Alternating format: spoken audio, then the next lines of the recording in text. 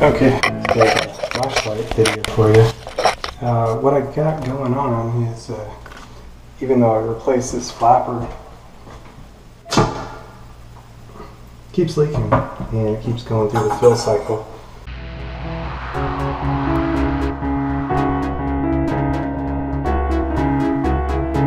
But what I wanted to show you is something that you can do if this happens to you. You've replaced your flapper, even maybe you replaced it twice, and still running every once in a while. Every once in a while, flapper kicks on and you hear that shh of the of the filling flapper. See the bubble there? The bubble just bubbled up. It's letting just a little bit of water uh, past it.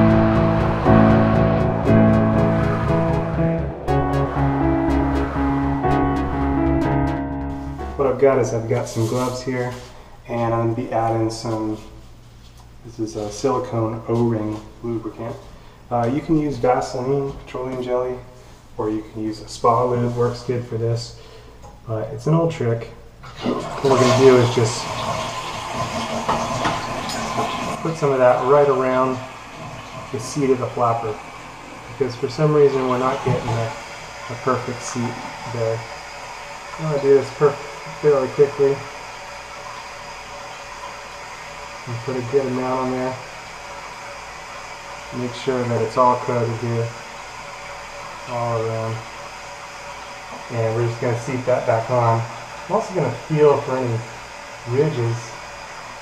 I'm actually looking right here, if you can see it. There's like a little ridge there.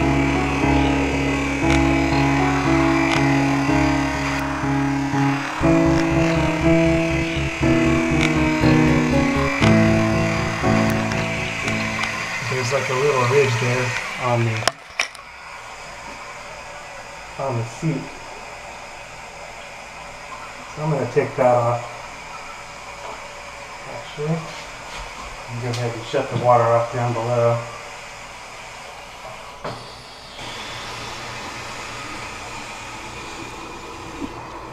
Stop's not working too good, but it's going to get replaced anyway. But what I'm going to do is try to take that, take that edge off.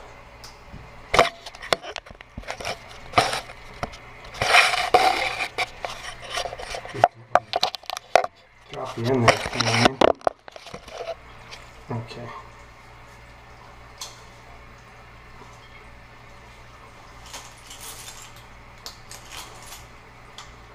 Okay, so I'm gonna go ahead and, take that little edge off there. Yeah, definitely got a little ridge there. anyway, the petroleum jelly or the other stuff will kind of fill in any irregularities there. Um, you could also take a little bit of sandpaper to the edge of this. I'm going to take my little file here and just kind of try to even that up. But uh, again, the petroleum jelly should fill in the rest. So I've got that on there and it's going to go ahead and plug this into place. Since I got the water turned off, I'm actually going to put a little of the lube on my glove here. And I'm going to go ahead and also wipe that around the seat, especially that area that I just sanded down. Anyway, that should do the trick. I'll turn my water on, back on down below. Got the angle stop there.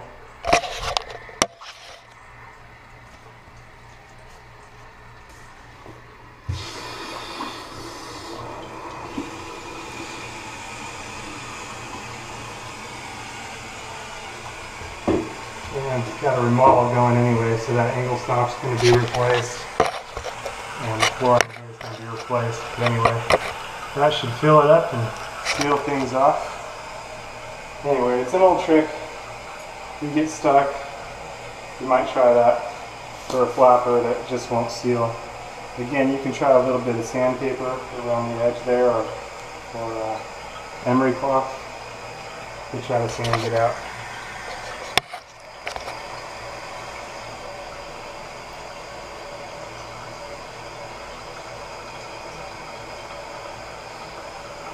This works good if you've got a toilet that's just intermittently.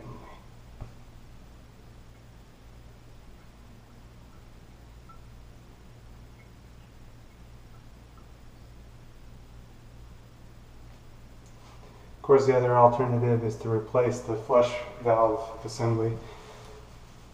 And there's also another solution is uh, to use a dual flush system to repair a situation like this because it's got this putty that it uses to seal and, and that can work situation like this. Anyway, I think we're all fixed there. It's uh, cut off the water, so over the next couple days I'll be working in here anyway. I can listen to it, keep an eye on